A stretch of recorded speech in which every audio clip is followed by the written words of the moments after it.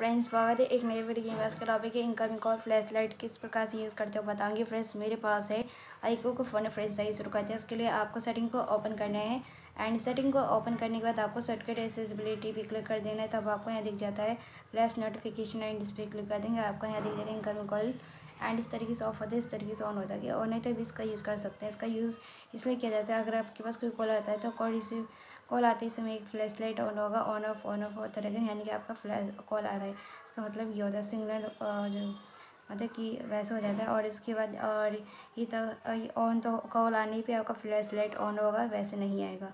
अब फ्रेंड्स अगर आपका स्क्रीन ऑन है, तब आप कोई कॉल करके देखते थे आपका फ्लैश लाइट तभी ऑन नहीं होगा। बस स्क्रीन ऑफ़ होना चाहिए और इनका भी call flash light on on होना चाहिए। उसके बाद ये जो स्क्रीन ऑफ़ होनी चाहिए फ़ोन की टच स्क्रीन एंड इसके बाद अगर ऑन इस तरीके से, तब आपके पास कोई कॉल करते तो कॉल मतलब फ्लैश लाइट ऑन नहीं होगा। अगर इस तरीके से ऑफ़ है, तब आपके पास कोई कॉल आता है, तब आपका फ्लैश लाइट ऑन होगा।